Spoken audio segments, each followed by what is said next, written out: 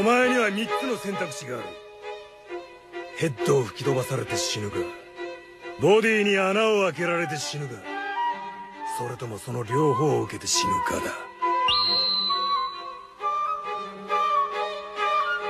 だ。だんまりでカッコつけてるつもりか？もっとももうすぐ喋りたくても喋れねえように。おめえそのグラサン外しとけよ。なんだと？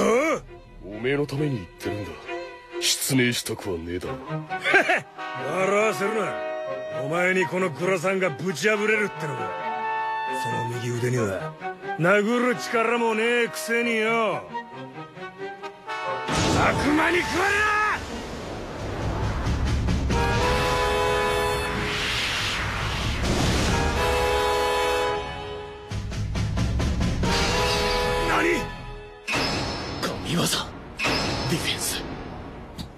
貴様何をしやがった？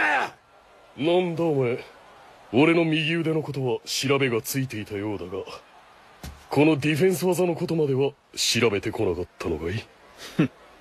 所詮アメリカのチンピラじゃこの程度か。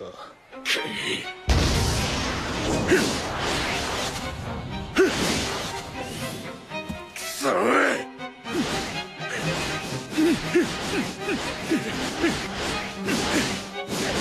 神業ディフェンス日本一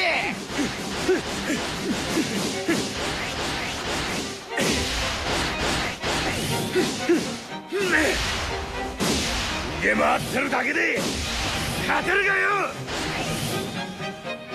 もちろんこれだけじゃねえ。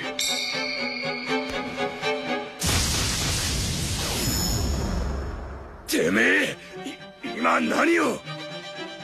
な、なんだと？俺は無敵だ。俺には4万の部下がついてる。俺が負けるはずがねえ。おめえ確か俺の右腕に殴る力はないことを知っていると言ってたな。俺がなぜ左手一本でボクシングをやってこられたか。そいつを今見せてやるぜ。出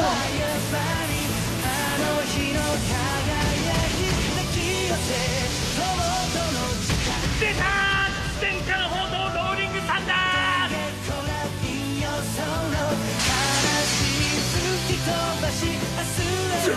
ずえ